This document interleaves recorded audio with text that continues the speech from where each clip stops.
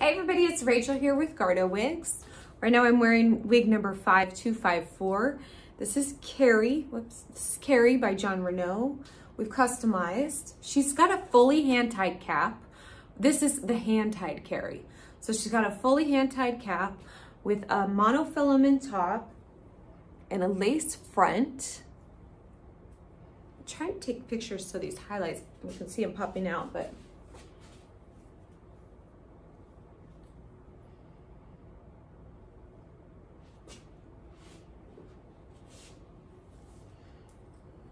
So it's got about a level two at the very top.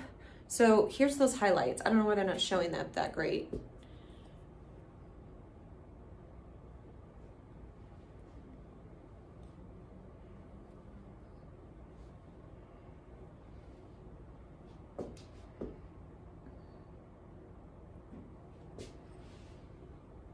And then, so this is the new hand-tied cap.